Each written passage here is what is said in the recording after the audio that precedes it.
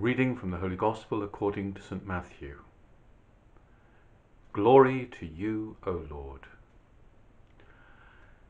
Immediately after feeding the crowd with the five loaves and two fish, Jesus made the disciples get into the boat and go on ahead to the other side, while he dismissed the crowds. And after he had dismissed the crowds, he went up the mountain by himself to pray. When evening came, he was there alone. But by this time the boat, battered by the waves, was far from the land, for the wind was against them. And early in the morning he came walking towards them on the lake. And when the disciples saw him walking on the lake, they were terrified, saying, It is a ghost. And they cried out in fear. But immediately Jesus spoke to them and said, Take heart, do not be afraid. It is I. Peter answered him, Lord, if it is you, command me to come to you on the water. He said, Come. So Peter got out of the boat, started walking on the water, and came towards Jesus. But when he noticed the strong wind, he became frightened, and beginning to sink, he cried out, Lord, save me! Jesus immediately reached out his hand and caught him, saying to him, You of little faith, why did you doubt? When they got into the boat, the wind ceased. And those in the boat worshipped him, saying, Truly, you are the Son of God. This is the gospel of the Lord. Praise to you, O Christ. When we go up to Scotland to see my son in the Hebrides, we usually drive along Loch Lomond. There's one quite long section of the road where there is rock on one side and water on the other and when we approach a bend, I pray desperately that there isn't a lorry or a coach coming the other way. There is some beautiful scenery in the Highlands. It takes my breath away when I see the reflection of a mountain in an expanse of still water on a sunny day. Galilee is a large freshwater lake with mountains around it. I remember looking back as we travelled back up the hillside uh, away from Galilee, heading towards Jerusalem, and I was determined that I would try and store the image in my mind and bank it in my memory. Lakes and mountains are places of mystery and hidden danger wind and weather, storm and fog, can turn a picture postcard scene into a death trap. Water comes down from the mountains in the Golan Heights and flows south into the River Jordan. It has brought life to that region for thousands of years. Who has control of that water has fed numerous conflicts right up to the present day. Jesus' home at Nazareth was 15 miles from the nearest town on the lake, the Roman settlement of Tiberias, not a place that Jesus seems to have ever visited. A couple of miles north of there was the village of Migdal, where Mary Magdalene originated. When Jesus began preaching and healing, he based himself at Capernaum, the home of Peter, Andrew, and their family fishing business. Those fishermen worked from midnight to dawn. In the darkness and in the quiet, the fish would come closer to the surface to feed, and so were easier to catch with their nets. Picture yourself then on a small boat as the skies begin to lighten before dawn.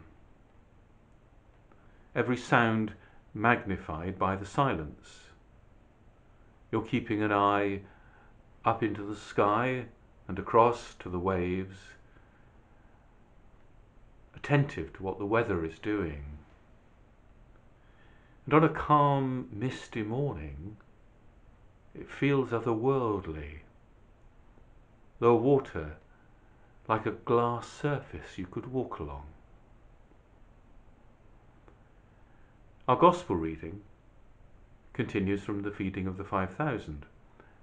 It's been a while since Peter and the others have been out fishing, but their boat offered a good way for Jesus' group to travel to those different points around the lake.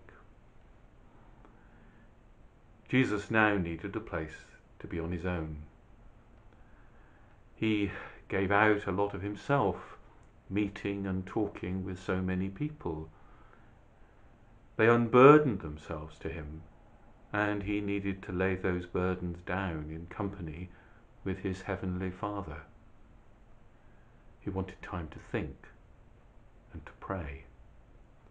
So he tucked himself into a sheltered spot high up among the rocks, and the disciples left him there. And there was something strangely comforting for them in being on the lake as the hour got later. It reminded the fishermen of their old life, a time with familiar routines and fewer challenges. They drifted and they dozed their way through the night. Then, at first light, they pointed the boat towards the shore where they had left Jesus. But now they found the wind had picked up and that they were making little progress towards it. As they peered ahead, a ghostly figure appeared to be walking towards them, and a, a terror swept over them. Someone made an anxious cry. But then they heard the familiar voice of Jesus telling them not to be afraid. Peter was exhilarated. He had never regretted for a moment leaving everything to follow this man. His life was now so different. Knowing Jesus made every moment better. There were times with Jesus when Peter felt that anything was possible. Lord, if it's you, command me to come to you on the water. Peter spoke without thinking. When he heard the reply, he didn't hesitate. Before he realized it, he was over the side of the boat, looking ahead and walking straight towards Jesus. But then his brain kicked in. He came to his senses. His body fell into line.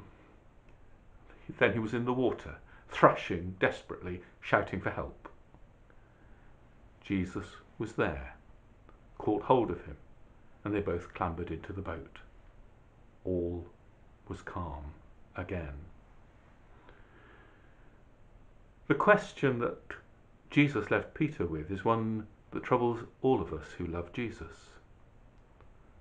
You of little faith, why did you doubt? When he stepped out of the boat and walked on the water, Peter followed his heart and something amazing happened. He doubted because in the world in which we live, walking on water isn't possible. That reality came flooding back into his mind, and he sank. Our Gospel records, though, how for just a few glorious moments, another reality broke through, and he was doing it. Among mountains and lakes, people catch glimpses of God and of the thin curtain that hides the reality behind every day. Amidst the flat fields of South Lincolnshire, it may be less obvious and look rather different. But the signs are here too. Jesus truly is the Son of God when we follow him, we would be foolish to rule anything out. Amen.